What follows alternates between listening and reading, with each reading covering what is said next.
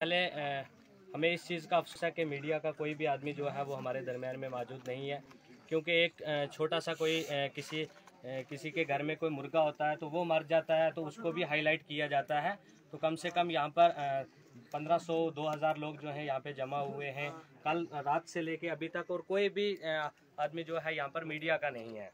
और उसके बाद बिलखसूस पुलिस डिपार्टमेंट के अलावा बाकी जो एडमिनिस्ट्रेशन के लोग हैं जैसे तहसीलदार साहब हुए, एसडीएम साहब हुए, अभी तक कोई भी आदमी नहीं है।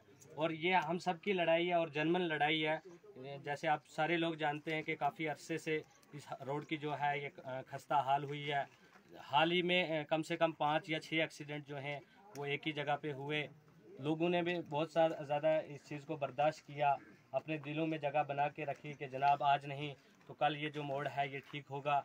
लेकिन अफसोस इस बात का है कि अगर लोग रोडों पे आ जाते हैं और लोगों के ख़िलाफ़ एफआईआर और लोगों को धमकियाँ, ये ये बहुत शर्मनाक बात है सब लोगों के लिए और उन लोगों के लिए भी कि जो इस किस्म के कदम उठाते हैं और इस किस्म की बातें जो बोलते हैं कि आपके ऊपर एफआईआर होगी, आप लोगों के ऊपर पर्चा होगा और आप लोगों जैसे हमारे कुछ ड्राइवर लोगों को उन्होंने बोला कि आप, आपके ऊपर हम गोली चलाएँगे, ये सबसे बड़ी जो बात है, ये शर्मनाक बात है।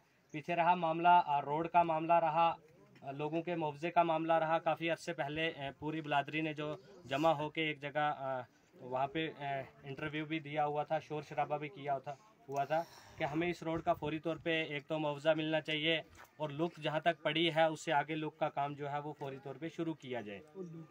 लेकिन अभी तक ना लोगों को मुआवजा मिला ना लुक का जो काम है ना वो शुरू हुआ।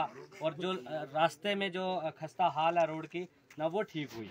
तो हमारा ये प्रोसेस जो है ये जारी रहे